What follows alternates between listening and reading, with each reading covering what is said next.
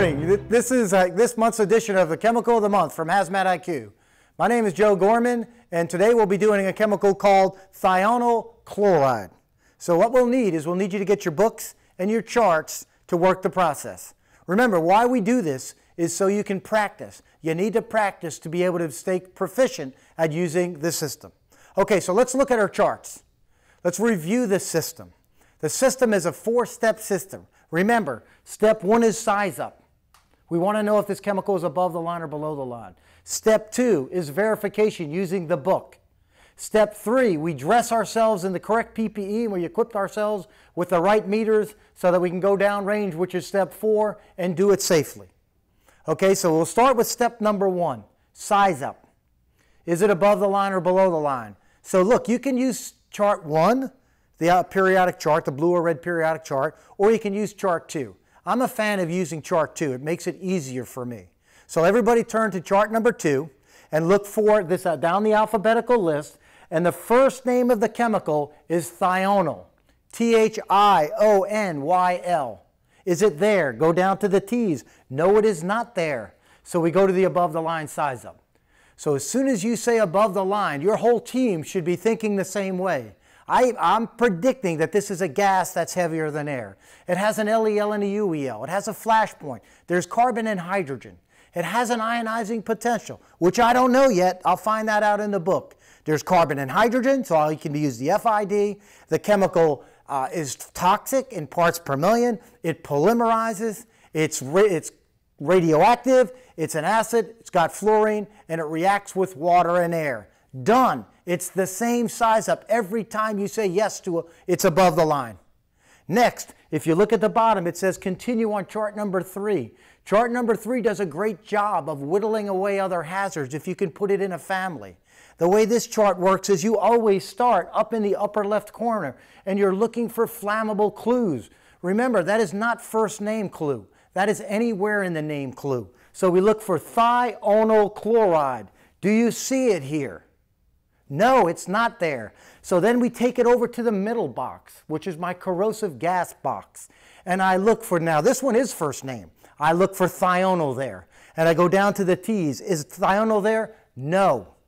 Every time I get a note of the flammable, I get a note of the corrosive, it takes me to a red one. Well, what's a red one mean? Red one means maintain all those above the line hazards.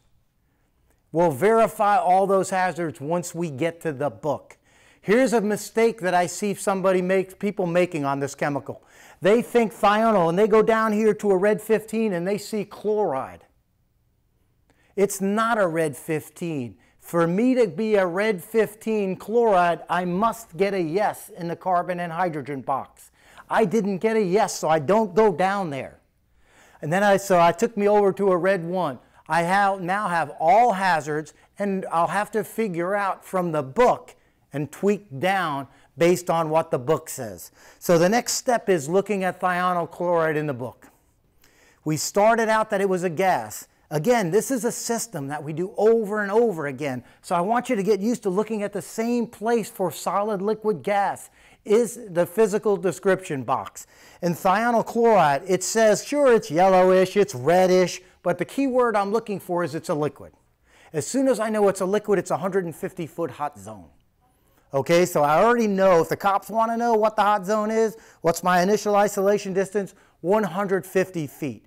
Then I want to know, hey, where is these vapors going? Are they going up, which would be good news? Are they going down, hanging where people are? Bad news. So I'll look at the molecular weight in the physical properties box. And molecular weight is 119. Air is 29. The vapors will go down. Next thing, flammability. I want to know the vapors that are going down. I want to know if those vapors are flammable. So there's three places I look. I look first, LEL and UEL. So let's look. Na, that tells me this liquid's not flammable. UEL, Na, not flammable. I don't even have to look at the book anymore because if it says Na for LEL and says Na for UEL, I'll bet you 100 bucks it says Na for flashpoint. Flashpoint. Na. Look at the formula up here for carbon and hydrogen. No, no carbon and hydrogen in the formula. This is not flammable. Good news. Next thing I want to know, does this chemical polymerize? Three places, remember, formula for the equal sign, DOT for the three-digit number ending in P, and, and incompatibilities and reactivities, I'm looking for the word polymerize. It's neither of those. This chemical does not polymerize. Then I want to know if it's toxic. So I go up to the IDLH and I look for toxicity in the IDLH, ND, not determined. That doesn't mean it's not toxic.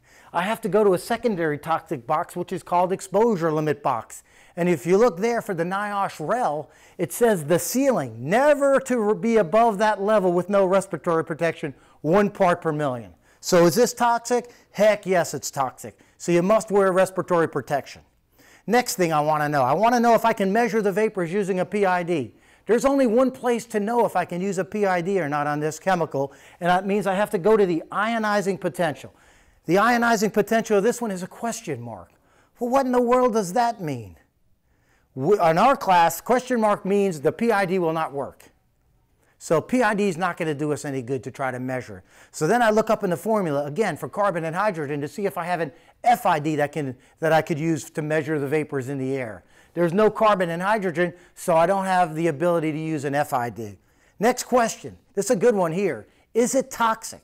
Uh, yeah, well, we did the toxic up here in the, in the recommended exposure limit box, but is it corrosive? So where would I find if it's corrosive there? So there's a couple of places to look. This is not a gas, so I can't look in the DOT box. So the next place I'll look is I'll look down here at incompatibilities and reactivity, and I'll look for any clue that this is corrosive or not. So it says down here, note. Note is code for read it because it's freaking important. And it says reacts with water to form sulfur dioxide, which I never heard of, or hydrogen chloride, which I never heard of. So I got to go back to chart number three. So I go to chart number three and I want to know if sulfur dioxide is a corrosive gas. So I look up in the upper left flammable clue box, I get a no. I go to the corrosive gas box, sulfur is there. Sulfur dioxide is a corrosive gas. Next one, it makes another gas when it reacts with water called hydrogen chloride. I go to the flammable box, is hydrogen there? No. I go to the middle corrosive gas box, is hydrogen chloride there? Yes. So that means that this liquid that's not corrosive uh, based on the DOT number reacts with water and now makes a corrosive gas. So what does that mean? I, I, this liquid that mixed with, with moisture to make a corrosive gas, what's the PPE you want to wear? I'll tell you what I want to wear. There's moisture always where I'm working. So I'm wearing level A on this one. And when I'm wearing level A, I'm putting my pH paper on my mask inside of my suit, my fluorine paper inside my suit, and I'm putting my pH paper on the outside and pH paper on the, an F paper on the outside. This checks the integrity of the suit during my operation. pH red outside the suit, pH no change in the suit, my suit's working. Okay, so that's thionyl chloride now. So this is kind of a cool one because it starts out as a liquid. If it rains or gets wet or moisture, it reacts to create a corrosive gas. So a question for all of you. How would you know from 100 feet if it was reacting or not? What tool could tell you there was a chemical reaction going on? Right, use the temperature gun. And if I shoot the temperature gun at that liquid and I want to know if it's reacting, what will happen to the liquid? It will raise in temperature. If the temperature is going up, I'm predicting there's a corrosive gas being emitted from that reaction. So remember, this is a, this is a liquid that forms a corrosive gas. So if you've ever been told to wear a level B for liquids and level A for gases, this one's that I'd wear level A every day of the week. And remember, downrange, level A, I need to make sure I'm safe from flammability. Good news, this is not flammable. So I'm, I'm predicting my LEL read is going to be zero. And then I bring my pH paper. I operate safely downrange with my papers inside and outside. Once the operation is over, I, am going to do decon, make sure I do a de good decon on it. Don't let people tell you don't use water to do decon because it says it, says it reacts over here. Use water, use lots of water to overwhelm the reaction. Okay, so that's this month's edition of the Chemical of the Month, thionyl chloride. I'm Joe Gorman. Have a great, safe day. Peace.